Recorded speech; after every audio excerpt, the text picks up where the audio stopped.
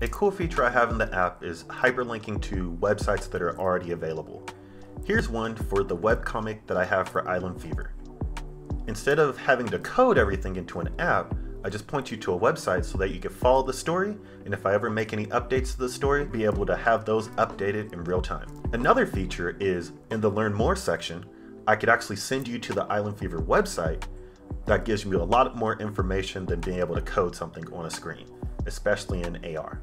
And last but not least, you could check out the web store at shop.iltopia.com directly by checking it out on the website portal. Hyperlinks are a great way to add interactivity to your augmented reality app. Life goes up and it goes down.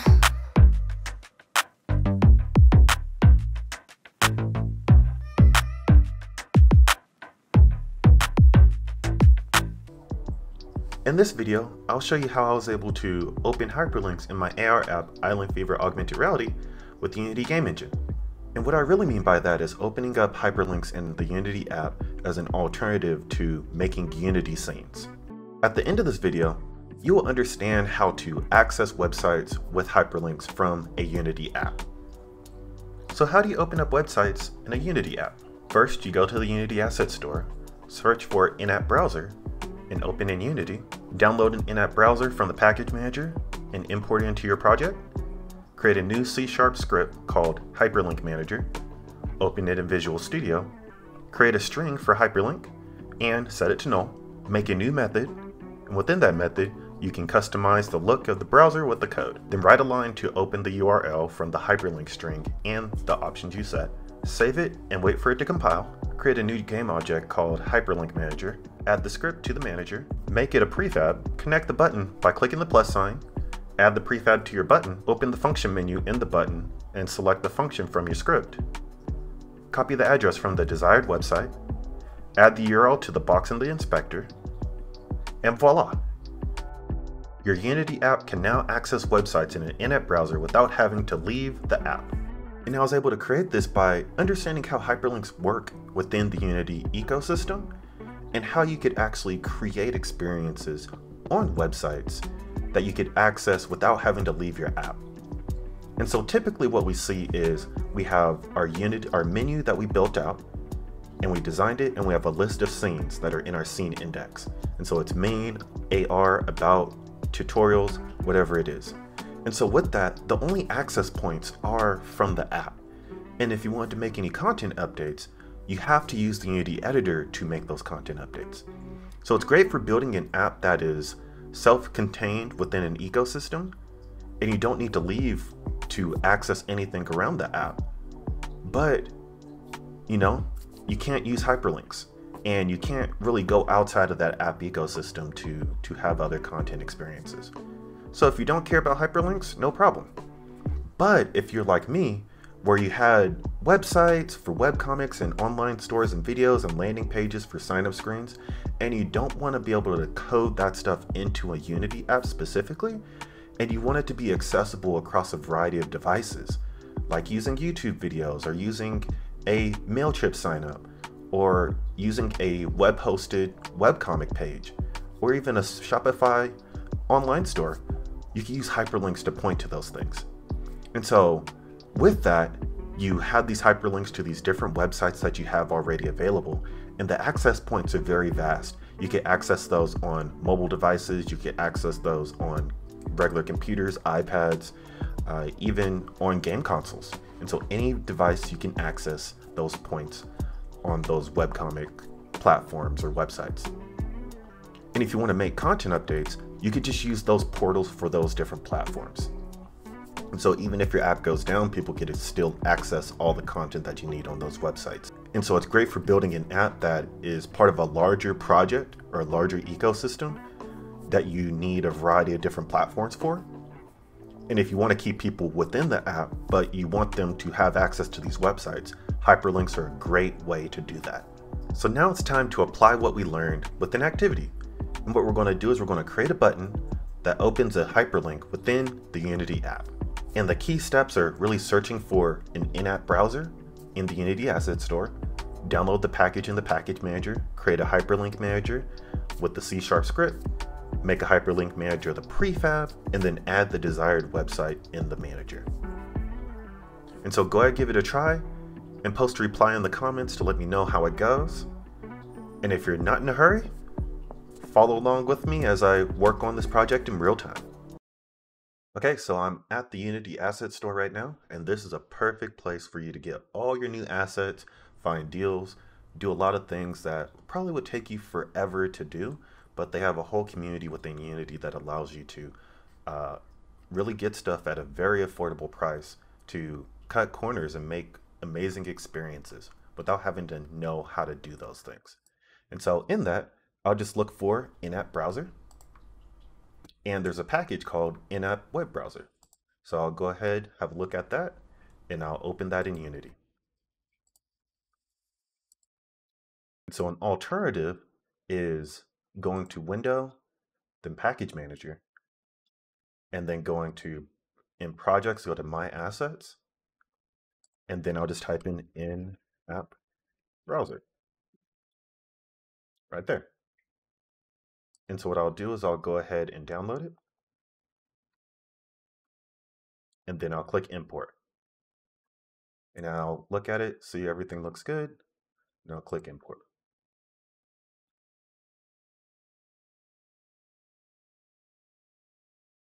Now that it's imported, I'll go through and there should be this folder called in-app browser. And you'll find example scripts and you'll find prefabs. But now that we have that, what we're going to do is we're going to look for one of our buttons. We have our button here and we call this one digital comics. So digital comics button and it has our on click variable right here. Everything is good, right?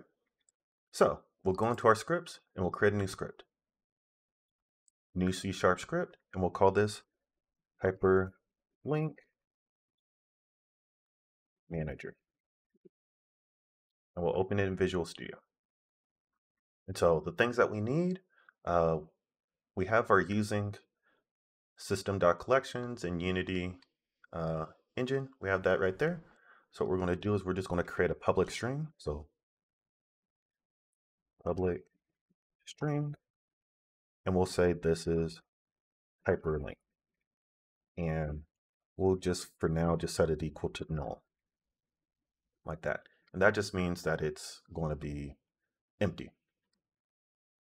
And so then we will delete our start and our update. We'll actually just make a, a new method or new function. So we'll call this public void. And then we'll have on button clicked. And then in that, we'll actually try to access our in-app browser. So we'll do in-app browser dot display options. And then we'll have options as the variable.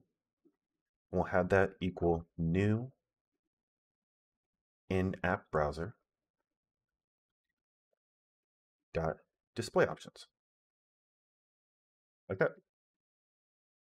And so then we'll say options, and we want this to be display URL as page title, and we'll have that equal to false.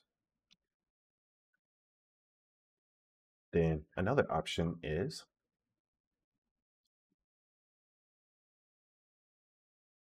hides history button. and we'll equal true. And then we'll have another option, and that will be page title. And for this, this is where you could have a custom page title. And so for me, I'll have um, Stuckey's project.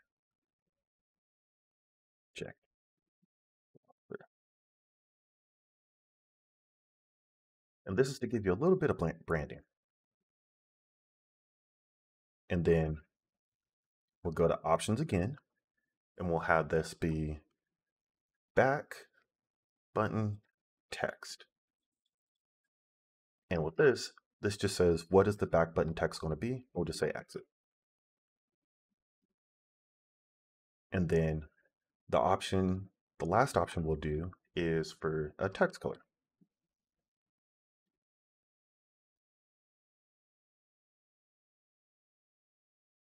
And this is just to choose the, the correct text color. And so I'll have it be FF8 5 7 8. And this is just regular hex colors, so you can figure that out whatever you want. And then from there, I'll do another reference, and this is just to open the URL. And we'll have this just be the hyperlink. So hyperlink and then we'll say with the options. And voila, just like that. If you don't want to modify any of this stuff, you could just get rid of it and you could just have the in-app uh, open URL. And then uh, we could just make another one called public void. And this is to uh, clear the cache. So on clear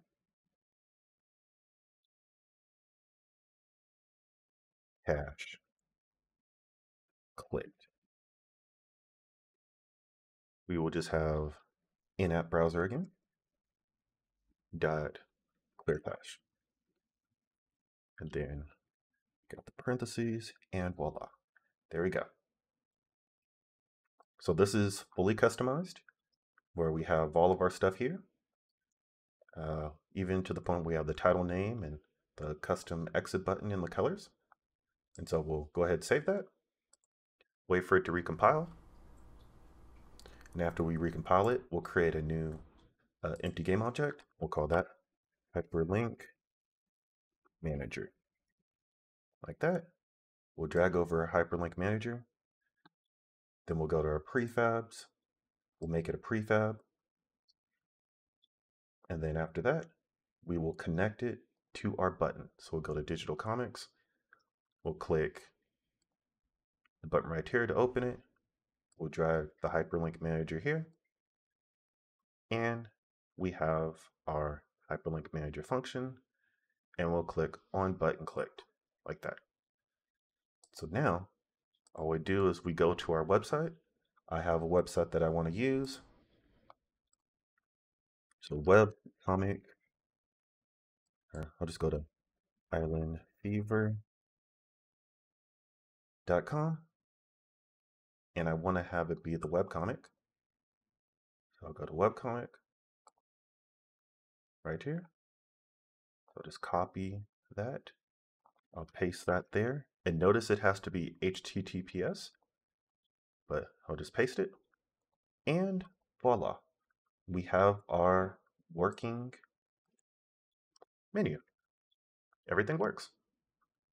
And so now you're able to go through and uh, create a hyperlink that you could access. Unfortunately, you can't access it from the browser or from the editor, but when you build out to a device, you're able to access it and it works completely fine, just like that. I appreciate all my Patreon supporters that have made this project possible and are continuing to support me. And again, if you want to get the project files for this project, go ahead and join my Patreon. And if you haven't already, go ahead and join the Discord because there's a lot of cool stuff, a lot of cool conversations, and that is the best place to reach out to me and help me build this wonderful creative and art tech community. If you like this and other videos, definitely join my Patreon to download the project files and get behind the scenes sneak peeks of new projects and be a part of the sponsor section at the end of my videos. Download the Eyelnd Feevr augmented reality app at eyelndfeevr.com or search for it on the Apple App Store and Google Play Store.